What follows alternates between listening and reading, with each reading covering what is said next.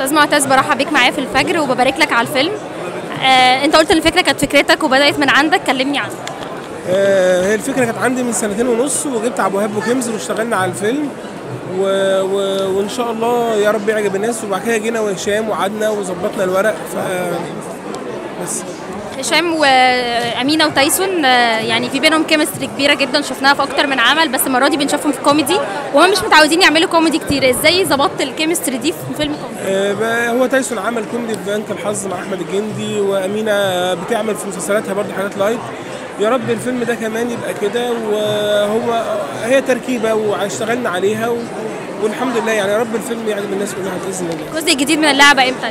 آه، ش- هيتعرض إحنا هنخش صور لسه كمان على نص تسعة أو أول نص تسعة بإذن الله إن شاء الله.